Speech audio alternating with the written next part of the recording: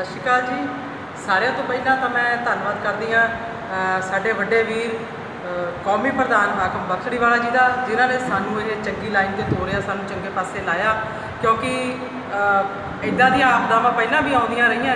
ਪਹਿਲਾਂ ਵੀ ਇਦਾਂ ਦਾ ਕਈ ਕੁਝ ਹੋਇਆ, ਪਰ ਕਦੇ ਕਿਸੇ ਕਲਾਕਾਰ ਨੇ ਕਿਸੇ ਕਲਾਕਾਰ ਦੀ ਜਾਂ ਕਿਸੇ ਮਿਊਜ਼ੀਸ਼ੀਅਨ ਦੀ ਇਦਾਂ ਹੈਲਪ ਨਹੀਂ ਸੀ ਕੀਤੀ, ਜਿੱਦਾਂ ਹੁਣ ਸਾਰਿਆਂ ਦੇ ਮਨ 'ਚ ਇੱਕ ਜਜ਼ਬਾ ਹੋ ਗਿਆ ਕਿ ਆਪਾਂ ਕਿਸੇ ਦੀ ਹੈਲਪ ਕਰੀਏ। ਸਾਰੇ ਕਲਾਕਾਰ ਇੱਕ ਦੂਜੇ ਨੂੰ ਫੋਨ ਕਰ ਕਰਕੇ ਪੁੱਛਦੇ ਆ ਕਿ ਤੁਹਾਨੂੰ ਕੁਝ ਚਾਹੀਦਾ ਹੈ, ਅਸੀਂ ਤੁਹਾਡੀ ਹੈਲਪ ਕਰੀਏ। ਔਰ ਬਹੁਤ ਬਹੁਤ ਧੰਨਵਾਦ ਕਰਦੀ ਹਾਂ ਮੈਂ ਇਸ ਗੱਲ ਪਿੱਛੇ ਸਾਡੇ ਵੱਡੇ ਵੀਰ ਹਾਕਮ ਜੀ ਦਾ। ਔਰ ਧੰਨਵਾਦ ਕਰਦੀ ਹਾਂ ਸਰਹੰਦ ਕਾਈ ਤੋਂ ਗੁਰਪ੍ਰੀਤ ਵਿੱਕੀ ਜੀ ਦਾ, ਜਿਹੜੇ ਮੇਰੇ ਇੱਕ ਸਨੇਹ ਤੇ ਇੱਥੇ ਪਹੁੰਚੇ ਨੇ, ਤੇ ਜਸਵਿੰਦਰ ਬੈਂਸ ਜੀ ਦਾ।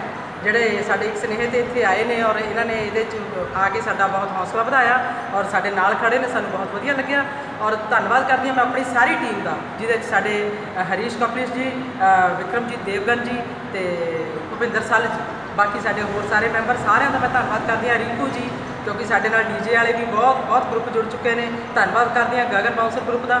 ਸਾਰਿਆਂ ਦਾ ਬਹੁਤ ਯੋਗਦਾਨ ਸੀ, ਸਾਰਿਆਂ ਨੇ ਰਲ ਕੇ ਅਸੀਂ ਇਹ ਛੋਟਾ ਜਿਹਾ ਉਪਰਾਲਾ ਕੀਤਾ।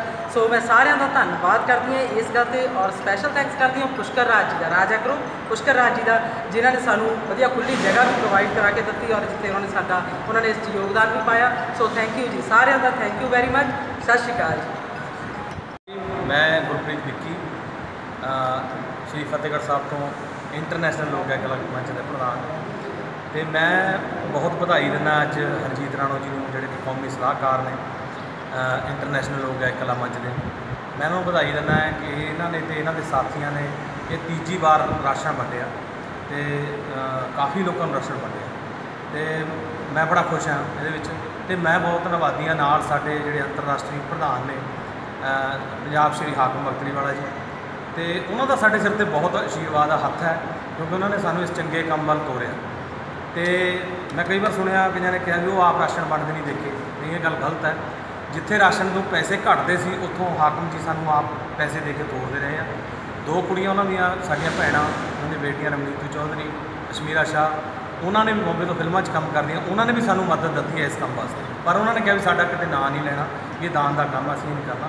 ਪਰ ਮੈਂ ਇਹ ਗੱਲ ਕਹੂੰਗਾ ਵੀ ਉਹ ਇੰਟਰਨੈਸ਼ਨਲ ਲੋਕ ਹੈ, ਕਲਾ ਮੰਚ ਦੇ ਪ੍ਰਧਾਨ ਨੇ, ਉਹਨਾਂ ਨੇ ਸਾਨੂੰ ਸਾਰਿਆਂ ਨੂੰ ਇਹੋ ਜਿਹੇ ਕੰਮ ਚਲਾਤਾ, ਜਦ ਕਿ ਲੋਕ ਘਰਾਂ 'ਚ ਬੈਠੇ ਆ।